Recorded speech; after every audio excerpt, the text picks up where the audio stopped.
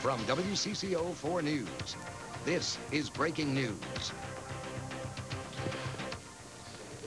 This is Mark Rosen at Minnesota State University in Mankato, where a news conference has just begun to discuss the uh, death of Korey Stringer, who passed away at 1.50 in the morning last night from complications from heat stroke. Let's go right to the podium where head coach Denny Green is right now addressing the media. It's been very tough on our football team. The reason we're here is to let the public know how much we love and care about Korey Stringer and what he's meant to us. We uh, had the coaches wake up the players this morning uh, to tell them. So the position coach woke up his player and let him know that Korey Stringer passed away.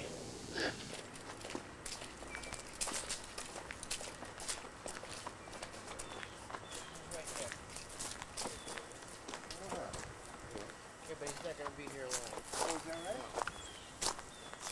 They moving them from here. We're moving him. Oh, just in the.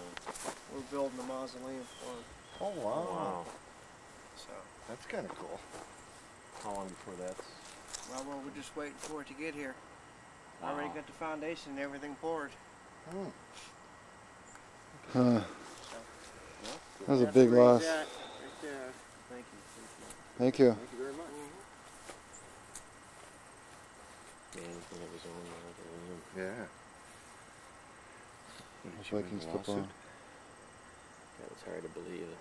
That big man You want is down move in the there. weeds?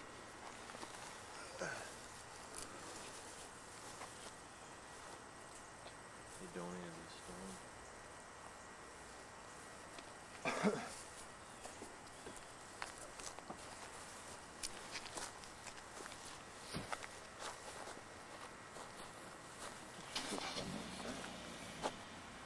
Them in the weeds.